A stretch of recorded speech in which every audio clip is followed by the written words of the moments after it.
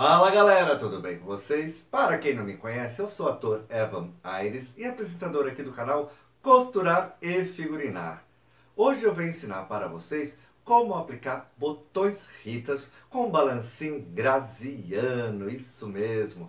Se vocês gostaram do assunto, fique por aqui, assista o vídeo até o final. Ah, mas não se esqueça de se inscrever aqui no canal, clicar no sininho para não perder nada do que se passa por aqui e também nos siga nas nossas redes sociais para não perder nada do que se passa por lá.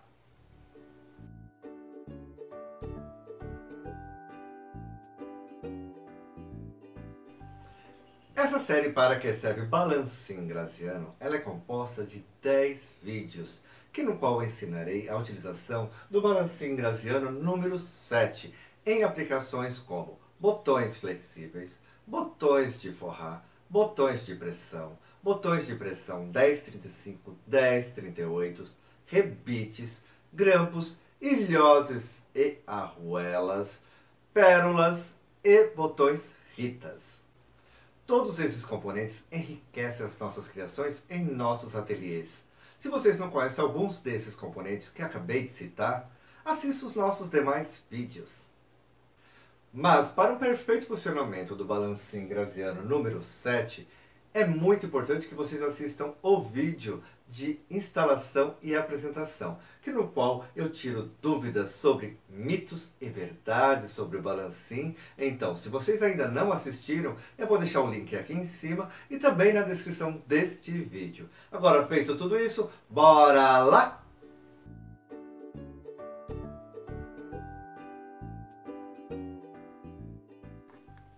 Prontinho, galera! Essas aqui são as matrizes necessárias para a colocação dos botões Ritas. Mas para isso, existe esse kit com quatro matrizes para os dois tipos de botões Ritas, né? Tem o tamanho de 10 milímetros e o de 12. Sendo que destas quatro matrizes aqui, somente usaremos três para cada tamanho, pois essas duas aqui podem serem usadas tanto para colocações dos botões de 10mm ou de 12, como vocês vão poder ver lá na frente. Botões Rita são famosos nas confecções de vestuário infantil, de bebês, feminino, artesanato, embalagens e entre outros. Deles a gente encontra em várias cores. Existe uma infinidade de cores de botões Ritas. Mas esse kit de matriz aqui, ele serve para os dois tamanhos, porque a única diferença é 2 milímetros de um pino para o outro. Ou seja, como eu costumo dizer, acabamento. A diferença é 2 milímetros. As demais peças são o mesmo tamanho. Então vamos lá. O botão Ritas, eles são compostos por dois pinos, uma fêmea e um macho. Ou de, de 10 milímetros. Ou dois pinos de 12 milímetros, uma fêmea e um macho. Os botões Ritas também são conhecidos como botões plásticos de pressão, ou botões de pressão plásticos, ou botões tic-tac. Ah, vocês devem estar me perguntando. Eu falei dessas quatro matrizes, mas e essas duas aqui? Vamos lá. Essa aqui é uma matriz vazador. Ou seja, a gente para poder instalar o botão Ritas, a gente precisa fazer um furinho para os pinos. Então, você pode fazer o furinho com este furador aqui, ou agulhão, como é chamado, né? Ou você pode usar a matriz de vazador. Eu prefiro utilizar a matriz de vazador porque, como eu estou usando um suede ele é mais áspero, esse suede que eu estou usando, então fica muito mais preciso o trabalho quando a gente se utiliza vazador do que ficar furando a mão com esse, esse agulhão ou furador, como é conhecido. As matrizes que tem esse parafuso aqui, tanto matriz de aplicação como esta, quanto a de vazador, tendo o parafuso aqui em cima, elas têm que ser encaixadas aqui. E a parte de baixo possui somente este pino aqui de encaixe, que será posicionado aqui, tanto para matrizes de colocação como esta, ou vazadores. Mas lembro que sempre é necessário após colocá-las, apertar este parafuso aqui. Mas antes de instalar as matrizes no balancinho, vamos entender quem vai aonde. O pino vai encaixado aqui, na parte de baixo da matriz. Vê como fica perfeito.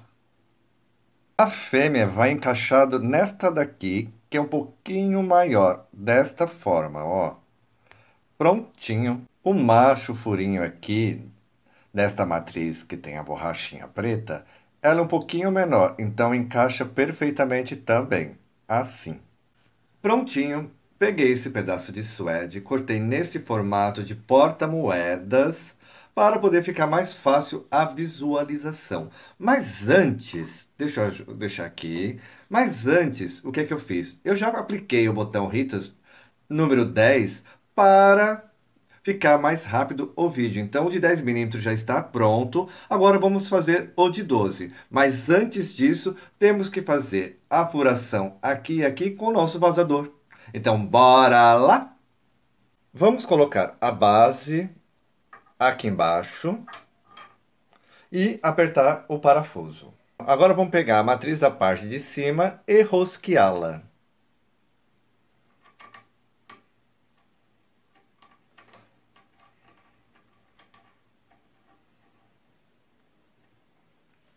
Agora, com o nosso pedaço de suede que já está marcado aqui e aqui, vamos fazer a furação. É só pegar aqui, marcar direitinho, ó, tá vendo aqui, ó, a precisão. Pronto, está furado. Deste outro lado, da mesma forma, então vamos lá, marcar direitinho. Pronto, já está furado.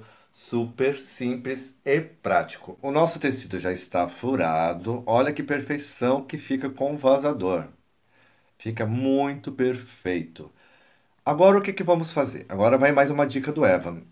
Geralmente, as fêmeas são colocadas para a parte externa das nossas peças. Ou seja, se aqui é uma bolsinha com esse suede, a parte externa será a aba da bolsinha. Então é aqui que a gente vai aplicar a fêmea. Então o acabamento da fêmea sempre será o pino para fora.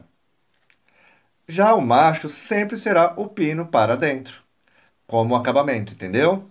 Então vamos lá. A fêmea, o acabamento é para fora, sempre de nossas peças, seja body de, de bebê, seja blusinha, sempre a fêmea será a parte que ficará visível de nossas peças. Então vamos pegar o pino aqui e lá para a máquina colocar a nossa fêmea.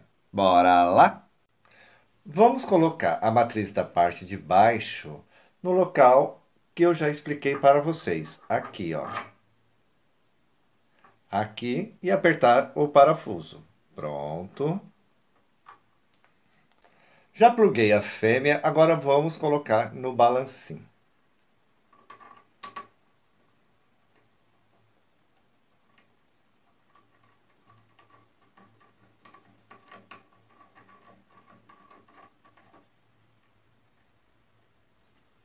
Fêmea no seu devido lugar. Agora é só pegar a peça com o pino para baixo e posicionar. A posicionado, vamos só abaixar simplesmente assim. Prontinho, já está aplicado a nossa fêmea. O mínimo de força necessária para a aplicação de um botão Ritas. A nossa fêmea já foi colocada do lado direito da peça. Agora vamos pegar o pino e colocar no avesso da peça para poder fixarmos o macho. Agora bora lá para o balancim. O nosso macho já está plugado na parte de cima e vamos colocar ele assim, como foi feito o anterior, que seria a fêmea. A nossa base não precisa mudar porque ela serve para os dois pinos, né? Então a gente não precisou mudar a nossa base aqui, continua a mesma. Agora vamos pegar o nosso a nossa peça, no caso, vamos colocar da mesma forma que foi feito o anterior. Abaixar super leve, olha, olha agora. Pronto, já foi instalado. Tira aqui, o nosso macho já foi instalado. Nosso macho já foi colocado, agora é só plugar. Desta forma, que todo mundo já sabe, não é verdade? Pronto. Então nós temos aqui o de 12 milímetros instalado e o de 10 milímetros instalado.